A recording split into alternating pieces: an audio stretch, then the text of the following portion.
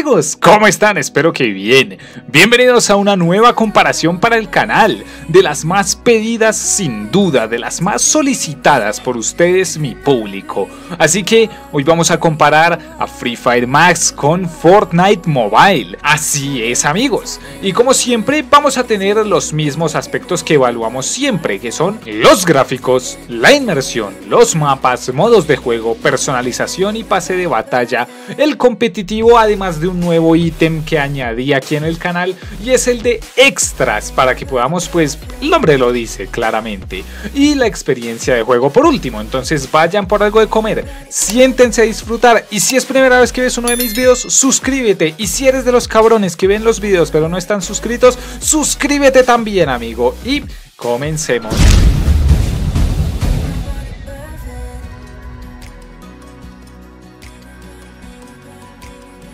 Como siempre vamos a empezar con los gráficos y la iluminación, que habitualmente son lo que primero nos entra por los ojos. Y duélale a quien le duela, tírenme toda la basura que quieran, pero Free Fire Max tiene mejores gráficos que Fortnite. ¿Pero qué me estás container? Que Dios se apiade de nosotros.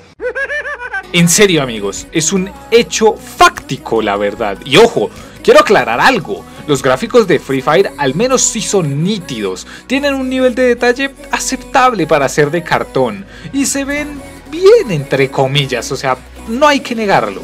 Pero es que Fortnite, tal y como está, pierden gráficos con Silent Hill 1. Son gráficos horrorosos y el hecho de que Fortnite sea una caricatura no lo excusa. Una cosa son cartoons, son caricaturas y otra cosa son malos gráficos. Y ojo, no desconozco lo que hace el motor gráfico de Fortnite. Es genial, es 900, 300 millones de veces superior al de Free Fire. Y las iluminaciones, Free Fire Max es muy superior. Y sí, eso me supo raro.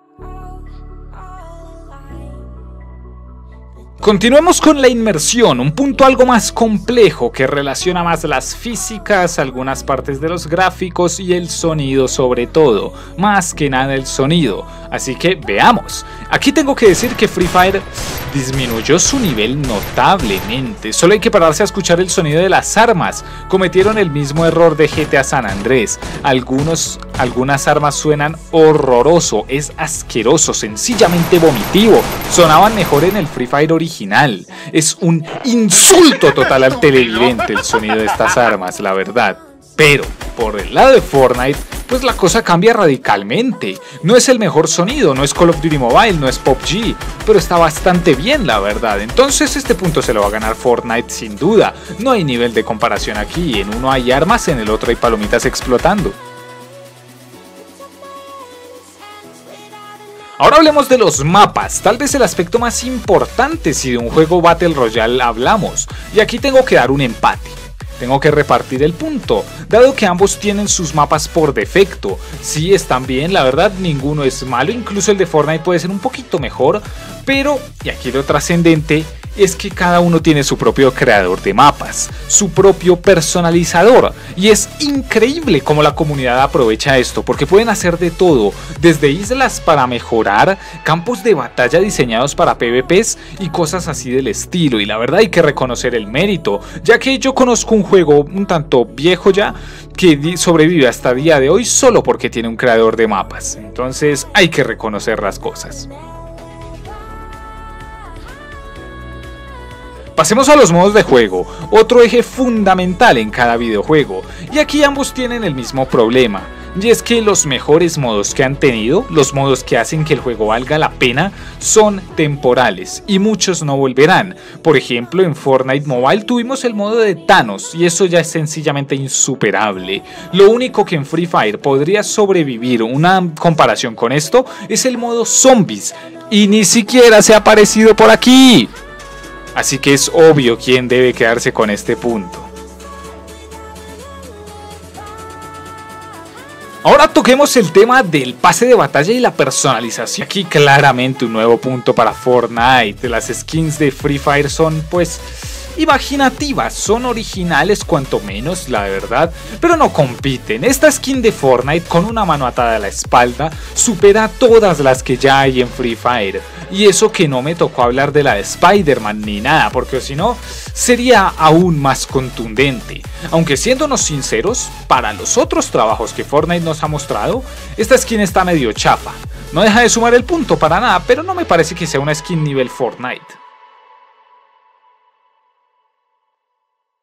Es hora del competitivo y aquí quiero dejar claros los lineamientos, quiero cambiarlos. El punto de competitivo de ahora, de ahora en adelante en todas las comparaciones de este canal no van a medir cómo es la estructura competitiva del juego, sino más bien lo competitivo que puede llegar a ser el mismo va a medir la dificultad que requiere el juego para jugarse a un buen nivel, la dificultad que conlleva ganar una partida de manera óptima y ser un buen jugador.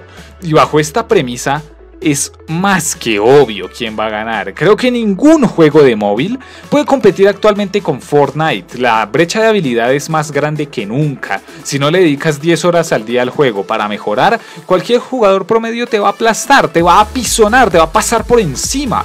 No tiene sentido ni siquiera discutir esto. Como les dije antes, este punto de extras va a abarcar cosas que no puedo meter en un solo punto, como por ejemplo la jugabilidad, donde Fortnite supera ampliamente a Free Fire, tanto en el manejo de las armas como en la movilidad del personaje y sobre todo la construcción, ya que Free Fire no tuvo miedo de copiarle la mecánica de poner muros para evitar las balas al Fortnite y quitarle la táctica al juego de paso, pero lo hizo mal también podríamos hablar de los vehículos y el catálogo de armas, donde nuevamente Fortnite supera Free Fire Max por mucho. Y a fin de cuentas, por mucho que busquemos, sin pensarle, tengo que darle este punto a Fortnite Mobile. Y para terminar, como siempre, vamos con la experiencia de juego, la capacidad que tiene cada juego para entretener básicamente, para ofrecer diversión, para crear momentos memorables. Y obviamente tengo que repartir este punto, es lo justo, ya que dependiendo de cada persona los juegos pueden ser más o menos divertidos, los juegos pueden entretener más o menos y por más malo que sea Free Fire en cualquier otro aspecto, no se puede negar que tiene la capacidad de entretener. Si te pones en una partida con tus amigos, tiene la capacidad de entretener sí o sí.